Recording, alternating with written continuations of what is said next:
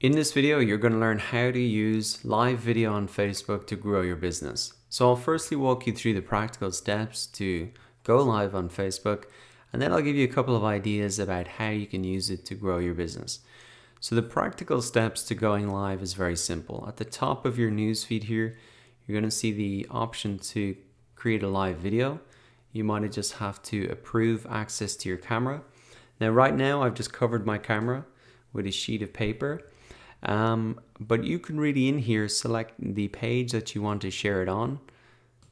So I could change that here if, if I wanted to. And then you just want to say something about the video that that you're putting in. Then you can select your camera and the microphone that you're using. So you can change those around if you want. You can plug in another camera. So you can do that. And you can even share your screen as well. Uh, I'm using the Chrome browser and you can just add in this Chrome extension to enable screen share, which you can use for presentations or you could use even for gameplay as well. So I can just put in test title and then you can add in tags if you want. If you're doing gameplay, you can see that you can tag a video game so that'll show up. So in terms of the setup, it's very quick. And then to go live itself, you just click go live. You can see you get a countdown like this. And um, you can see that my comment came up the top. And um, then you're going to see you're able to, you can write comments in here. And also if anybody is commenting on your video, you're going to see this pop up in the sidebar here on the right as you're talking and as you're appearing on camera. So you can read the comments as you're going live. Now, once you've finished out your live video, then you can just click uh, finish. And then what is going to happen after that is that a replay of your video will be available on your timeline. So you can just click done. Now, if I refresh the page, this should come up almost immediately. And you can see there it is there. If any anybody commented on this while I was doing it, that would have been shown up here. And you know, people could read back and watch this later as well. So how do you actually use this? Well, um, what are some use cases of it? Well, on your own page, you can just use this for something like uh, an Ask Me Anything. This is an example that I did. Just ask me anything about Facebook Live or Facebook ads. Now you can promote that in advance.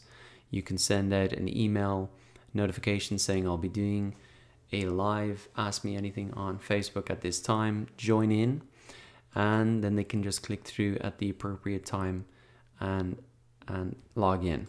Or you can do it as I've done it here, just a short one minute, two minute video. And then I've said, you know, ask me anything, I'll answer questions even afterwards. And I got quite a lot of views for this one video, quite a lot of comments.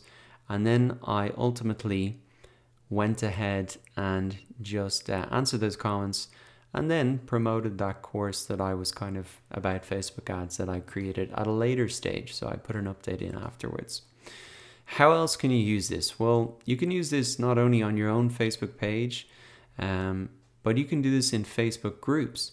So here's an example of this. Uh, it was another Udemy instructor. Uh, if we click into this, you can see that he said I'm live in, in the instructor club for the next hour. I'll be answering many of the questions. So he had a little bit of a build up before this. He was commenting in this group saying, I'll be live on X date.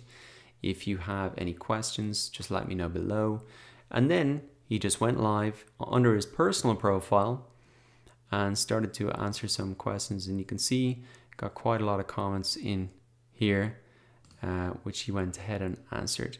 So you could do this under your own name in a Facebook group and then start to talk a little bit about your business and how people can learn more.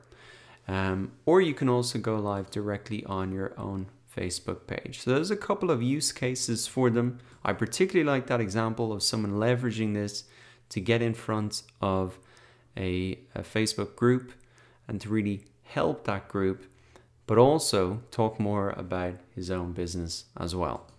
So now that you know how to go live on Facebook, create a live video for yourself or put this strategy in your back pocket for later.